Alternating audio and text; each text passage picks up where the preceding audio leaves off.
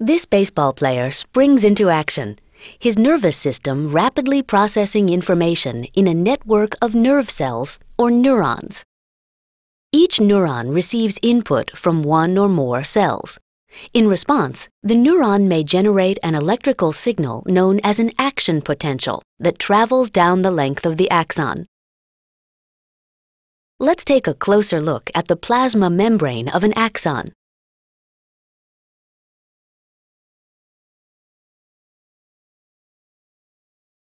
Even without an action potential, the axon is a busy place with many ions moving across its membrane.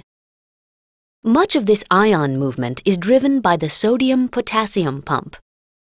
Using energy from ATP, sodium-potassium pumps actively transport sodium ions out of the cell and potassium ions in, creating an uneven distribution of charge across the membrane.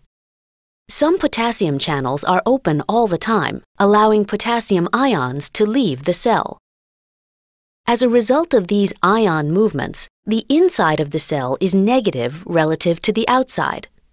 This condition is called the resting potential.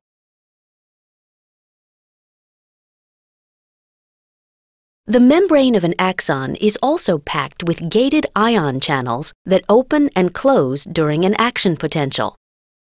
At resting potential, the gated channels are closed. If a stimulus changes the distribution of charge across the membrane sufficiently, the gated sodium channels open.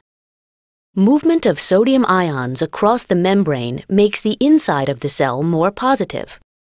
This reversal of the charge distribution causes the gated sodium channels to close and the gated potassium channels to open. As potassium ions move out of the cell, the original charge difference is re-established across the membrane, closing the gated potassium channels. This sequence of events is called an action potential. The sodium-potassium pump restores the distribution of ions back to their previous levels at resting potential. Let's look at how the action potential is conducted along the axon.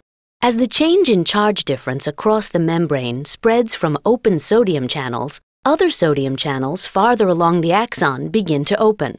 The original sodium channels close and adjacent potassium channels open. As potassium ions move out of the cell, the original charge difference across the membrane is restored, and then the potassium channels close. Meanwhile, new sodium channels open, followed by the opening of new potassium channels and the closing of sodium channels. In this manner, the action potential is propagated along the axon of the neuron, eventually reaching another cell. The information carried by this action potential will be processed with other information, permitting this baseball player to make a spectacular catch.